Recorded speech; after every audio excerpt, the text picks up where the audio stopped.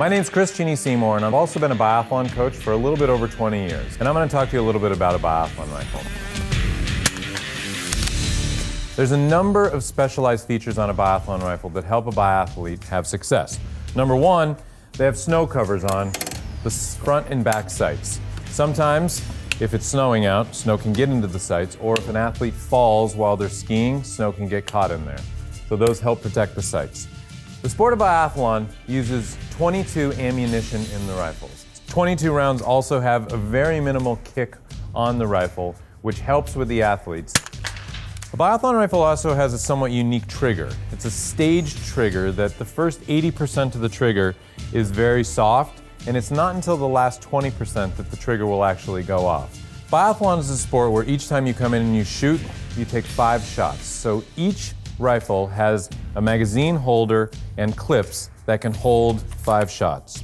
Biathlon has a very unique feature that is not common in other shooting sports. They have something called a Fortner bolt. And so this bolt is special to the sport in that it's very quick and allows you to rebolt the rifle quickly. So with the trigger finger, it comes back, and with the thumb, it pushes forward to rebolt.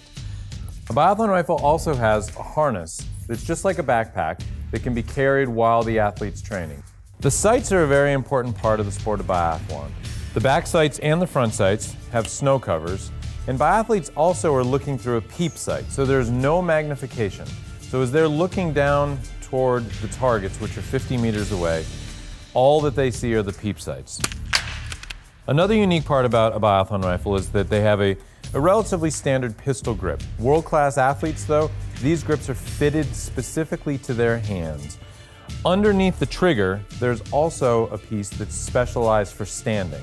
When the athletes come in, they will hold their hands so that they split their fingers and their thumb comes right underneath it. The final feature about it that's pretty unique is that there's a sling on the front. So when they're shooting in prone position, their hand comes up against the hand stop, and this sling comes around their forearm and clips into a cuff that's just above their bicep to help stabilize it.